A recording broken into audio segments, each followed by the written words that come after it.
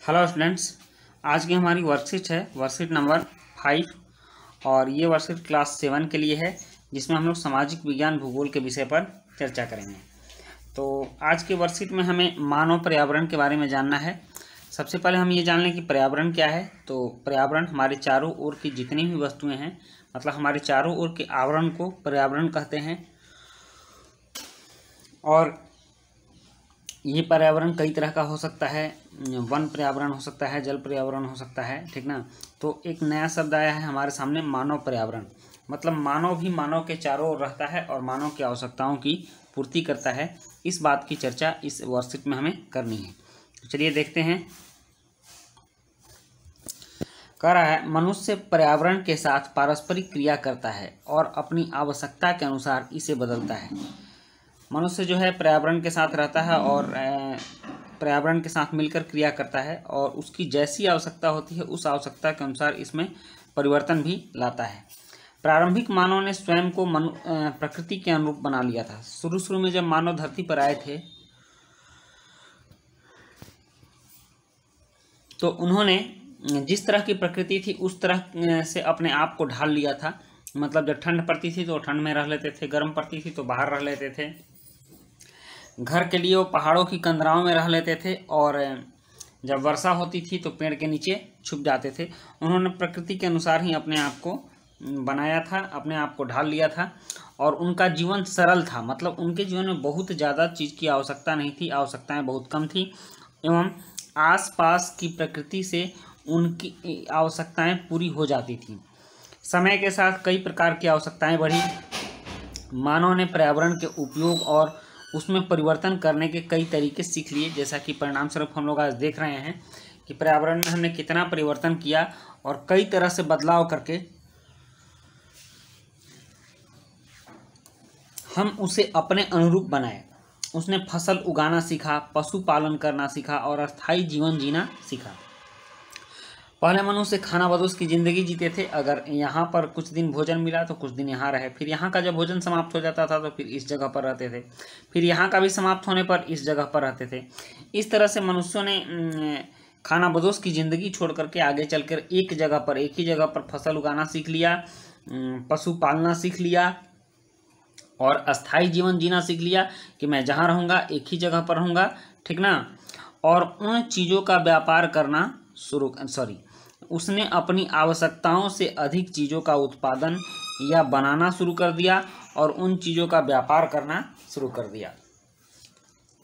जो उनकी आवश्यकता की चीज़ें थी, उसको बनाने भी लगे। धीरे धीरे आवश्यकता से आविष्कार हुआ, आविष्कार से कारखाने बढ़े।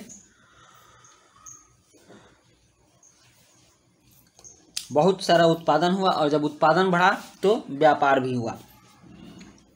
शुरू शुरू में जो व्यापार होता था, वह व्यापार वस्तु विनिमय प्रणाली द्वारा होता था। वस्तु विनिमय पद्धति क्या होता है कि जब किसी व्यक्ति को कोई सामान खरीदना होता है तो उसके बदले में वो दूसरा सामान देता है। ठीक ना? आज भी आप गाँव में जाएँगे तो गाँव के लोगों को जब सामान खरीदना होता है तो घर से झोले में अनाज लेकर जाते हैं और दुकानदार को अनाज देते हैं और फिर दुकानदार बदले में उनको सामान देता है। तो ये वस्तु विनिमय प्रणाली शुरू शुरू में थी और यह वस्तुओं की अदला बदली का व्यापार है, जिसमें धन का प्रयोग नहीं होता। ठीक? उसके बाद मुद्रा आया। इस मुद्रा को हम लोग सांकेतिक मुद्रा कहते हैं, ठीक ना? और यह जब मुद्रा आया तो वस्तु विनिमय प्रणाली की समस्याएँ दूर हो गई। वस्तुओं का लेन देन बंद हो गया और पैसों से लेन देन शुरू हो गया। और उसके बाद भी एडवांस वर्जन में आजकल प्लास्टिक मनी आ गया, ठीक ना? डेबिट कार्ड, क्रेडिट कार्ड और ऑनलाइन मनी ट्रांसफ़र का भी उपयोग किया जाता है। तब मानव ने अन्य लोगों के संपर्क में आना शुरू कर दिया क्योंकि उसकी आवश्यकताएँ बढ़ने लगी, संपर्क बढ़ने लगे और अपनी सुविधा और विभिन्न उद्देश्यों के लिए उसने खुद का एक वातावरण बनाया।